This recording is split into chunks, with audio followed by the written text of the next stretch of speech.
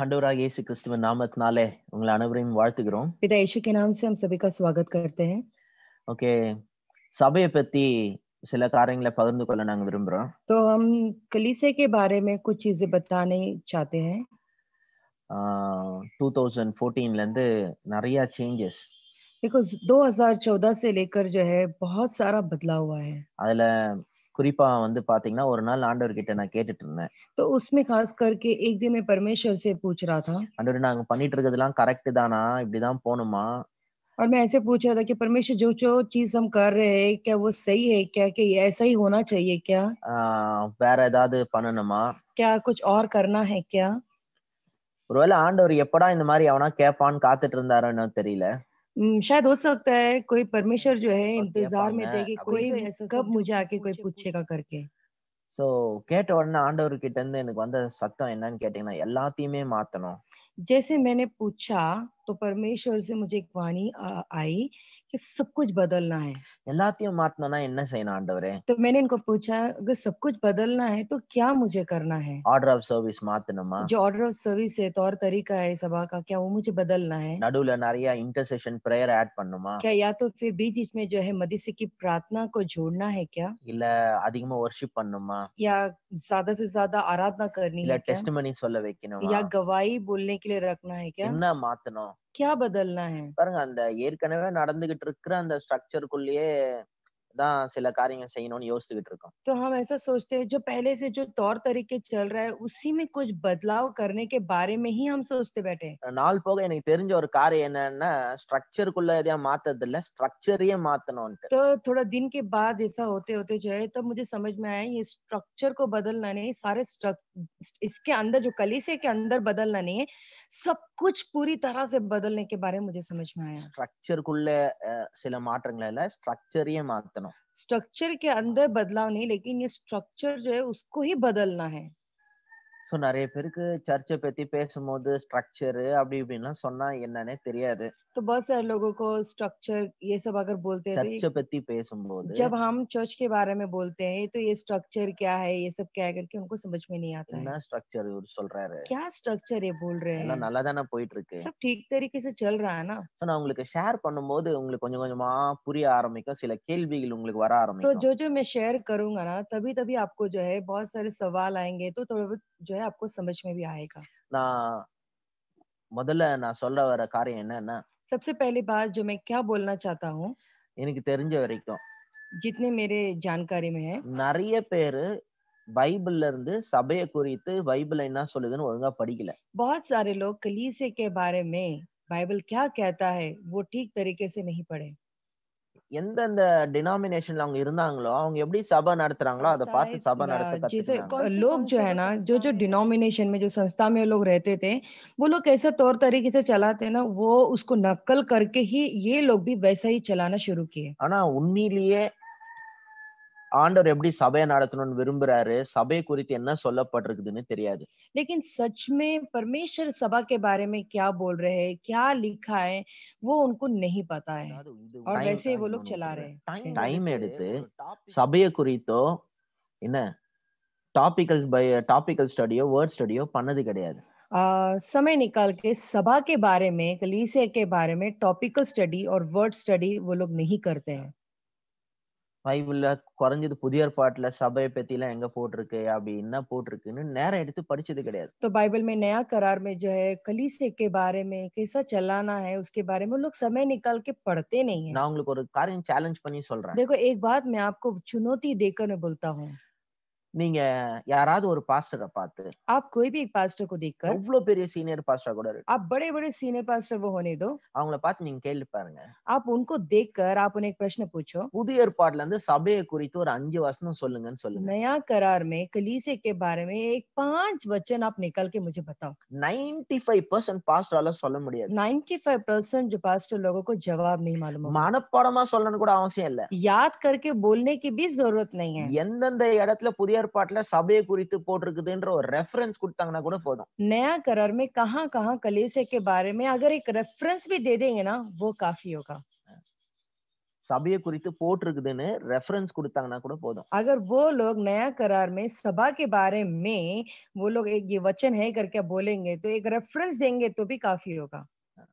ஆனா நான் சொல்றேன் 95% நீங்க கேட்டிங்கன்னா பாஸ்டர் கிட்ட முடியாது देखो मैं बताता हूँ 95 परसेंट अगर आप पास्टर से पूछेंगे ना तो उनके पास इसका जवाब नहीं होगा ஒருவேளை நீங்க யாராவது பாஸ்டர்ஸ் இதை கேட்டுட்டு இருந்தீங்கன்னா अगर अगर यहाँ पे कोई पास्टर सुनते रहेंगे तो நீங்க கொஞ்சம் உங்களே கேட்டு பாருங்க तो आप अपने आप से पूछ कर देखें இப்போ என்னால ஒரு அஞ்சு வருஷம் சபையை குறித்து சொல்ல अभी முடியும் इसी वक्त एक पांच वचन मैं कलीसिया के बारे में बोल सकता हूँ क्या இது யாரையும் பாஸ்டர் देखो அவமானப்படுத்துறது ये पास्टर की बेइज्जती करने के लिए नहीं कह रहा हूँ मैं நம்மளே நம்ம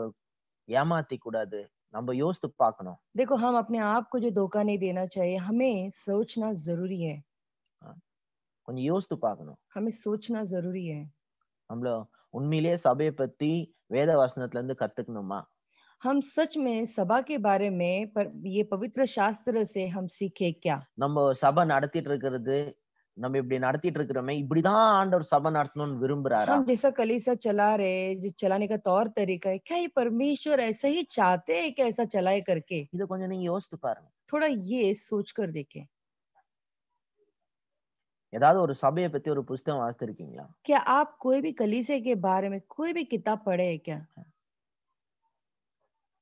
சபைய growth பண்ணோன்ற புஸ்தகத்தை பத்தி இல்ல சபைய பத்தியே सभा को बढ़ाने की बढ़ोतरी के बारे में नहीं लेकिन सभा के बारे में किताबें पढ़े क्या முதல்ல சபைன்றது என்ன எப்படி நடத்தணும்னு ஆண்டவர் விரும்புறாரு அதை பத்தி सबसे पहले ये सभा क्या है परमेश्वर कैसा चलाना चाहते हैं उसके बारे में केवल சபையை பத்தி நிறைய பேர் புக் படிச்சிருக்க மாட்டாங்க देखो कलीसे के बारे में बहुत सारे लोग किताब नहीं पढ़े होंगे உண்மையா கரெக்டா அத்தன்டிக்கா எழுதின சபையை பத்தி புக் வாசித்தீங்கன்னா உங்களுக்கு புரியும் புரியாது जो हकीकत जो असली जो किताब अगर सभा के बारे में अगर आप पढ़ोगे ना तो आपको सच में वो समझ में ही नहीं आएगा ஏன் புரியாது क्यों नहीं समझ में ஏன்னா आएगा நீங்க சபைன்னு ஒண்ணு சொல்லி பண்ணிக்கிட்டு இருக்கிறதுக்கும் அதுல எழுதி இருக்கிறதுக்கும் மேட்சே ஆகாது பாத்துங்களேன் क्यों बोले तो जो सभा बोल के आप तौर तरीके से चला रहे हो ना वो और जो किताब में लिखा है सभा कैसा चलाना है दोनों को संबंधित ही नहीं रहेगा वो मैच ही नहीं करेगा நான் சிஸ்டமேட்டிக் தியாலஜி படிச்சிருக்கேன் देखो मैं सिस्टमैटिक थियोलॉजी में पढ़ा हूँ 嗯 அதுல பாத்தீங்கன்னா சபையை பத்தி டாபிக் வரும்போது तो उसमें सभा के बारे में जब अ, विषय आता है तो முதல்ல சபையை பத்தியே பேசியிருப்பாங்க सबसे पहले कलीसे के बारे में ही वहां पे அது लिखा गया है படிக்கிறதுக்கு கூட அவ்வளவு இன்ட்ரெஸ்டா இருக்காது படிச்சாலும் விளங்காது और वो पढ़ने के लिए इतना दिलचस्प भी लगता नहीं है और जब पढ़ेंगे तो भी समझ में नहीं आएगा அதுக்கப்புறமா டைரக்டா அந்த systematic theology functions of the சர்ச்சுக்கு போயிடும் फिर उसके बाद में directly functions of the church में चले जाते हैं அப்போ அங்க வந்து போட்டிருப்பாங்க फिर ओ, वहां पे ऐसा लिखा गया है ஆராதனை எப்படி நடத்தணும் आराधना कैसा करना है எப்படி பிரசங்கம் பண்ணணும் कैसे प्रचार करना எப்படி है அவுட்ரீச் இவாஞ்சலிசம் பண்ணணும் कैसे आउटरीच इवेंजलिज्म करना है பிலீவர்ஸ் எப்படி ஹேண்டில் பண்ணணும் कैसे विश्वासी लोगों को संभालना है So, அதெல்லாம் கொஞ்சம் இன்ட்ரெஸ்டிங்கா இருக்கும் थोड़ा वो सब जरा दिलचस्प लगता है ஆனா முதல்ல சபைய பத்தியே புரிஞ்சுக்கிறதுன்றது வந்து ஒரு மாதிரியா இருக்கும் लेकिन सबसे पहली बात सभा क्या है उसके बारे में समझना ही थोड़ा सा अजीब लगेगा எந்த தியாலஜி புக்காவது எடுத்து முதல்ல சர்ச்சை பத்தி என்னன்னு போட்டிருக்குன்னு முடிஞ்சா படிச்சு பாருங்க और जितना हो सके उतना सबसे पहले जो है थियोलॉजी की कोई भी किताब लेके और वो क्या लिखा करके समझने की कोशिश சர்ச்சை करो பத்தி சர்ச்சை பத்தி कलीसिया அந்த के வார்த்தை बारे में use பண்ணிடுறேன். ஆ. நான் என்னோட எக்ஸ்பீரியன்ஸ் சொல்றேன் देखो मेरा अनुभव मैं कह रहा हूँ ரொம்ப வருஷத்துக்கு முன்னாடி டெரிக் பிரின்ஸ் ஒரு புக் படிச்சேன் बहुत साल पहले डेरिक प्रिंस उनकी किताब मैंने पढ़ा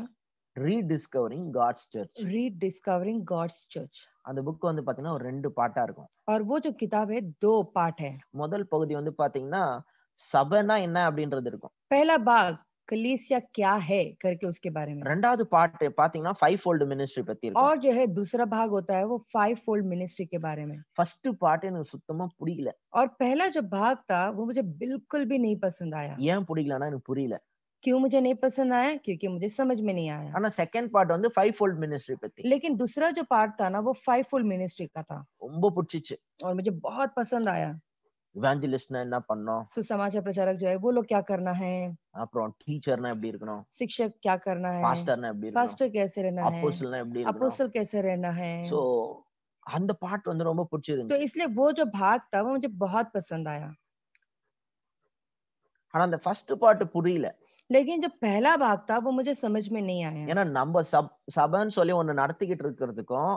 நல்ல தருவான பிப்ளிக்கல் ஸ்டடி படிச்சு பார்த்தோம்னா நம்ம நடத்துறது அங்க மேட்ச் ஆகாது क्योंकि ऐसा है कि जिस जिस तरीके से हम सभा चला रहे हैं और उसमें जो लिखा है तो जो हम पढ़ेंगे तो हमको समझ में नहीं आएगा क्योंकि हमारा हम जो कर रहे हैं उसमें जो लिखा है दोनों को मैच नहीं हो रहा है Watchman Nee Watchman Nee Witness Lee Witness Lee இவங்க எல்லாம் வந்து பாத்தீங்கன்னா சபையை பத்தி நல்லா எழுதியிருக்காங்க वो लोग सब जो है ना सभा के बारे में बहुत अच्छे से लिखे हैं இன்ஃபேக்ட் வந்து வாட்ச்மேன் நீலாம் வந்து ரொம்ப அழகா எழுதியிருக்காரு अगर देखा जाए तो वॉचमैन नी जो है बहुत खूबसूरत तौर से उन्होंने लिखा है இன்னும் சொல்ல போனா இப்ப வரப்போற ஒரு பெரிய சபையில ரெஃபர்மேஷனுக்கு வாட்ச்மேனோட வாட்ச்மேனியோட புக் வந்து ஒரு பெரிய சீடு மாதிரி இருக்கு तो आने वाले दिनों में कलीसिया के लिए अगर रेफर्मेशन जो आएगा तो वॉचमैन नी के किताब की वजह से बहुत बड़ा வரப்போற प्रभाव re- लेके आने வரப்போற वाला है reformation, आने வரப்போற वाले re- रिफॉर्मेशन வரப்போற में reformation. வாட்ச்மேன் நீயோட புக் வந்து ஒரு பெரிய சீடு மாதிரி இருக்கு तो वॉचमैन नी का जो किताब है एक बड़ा बीज के समान रहे ஆனா அவரு அவ- அவருக்கு அடுத்த ஜெனரேஷன்ல இருக்கிறவங்களே அவர் சொன்ன மேட்டர் புரிஞ்சுக்கல लेकिन उनके बाद में जो पीढ़ी थी ना उन लोगों को जो है वॉचमैन नी क्या बोल रहे हैं उनको वो समझ में नहीं आया அறக்குறையா ஒரு சில ரைட்டான விஷயம் மட்டும் புடிச்சுக்கினாங்க आधा अधूरा जो जो सही विषय था उसमें थोड़ा बहुत उसे बस उन्होंने पकड़ लिया बस ஆனா ஃபுல்லா அவங்கனால அண்டர்ஸ்டாண்ட் பண்ணிக்காதனால அவங்களும் வேற ட்ராக்ல போயிட்டாங்க क्योंकि उनको पूरी तरह से समझ में नहीं आने की वजह से वो अलग पटरी पर निकल गए நீங்க வேணா போய் படிச்சு பாருங்க आप जाके वो किताब पढ़कर देखें Derek Prince the rediscovering God's church Derek Prince का रीडिस्कवरिंग गॉड्स चर्च का किताब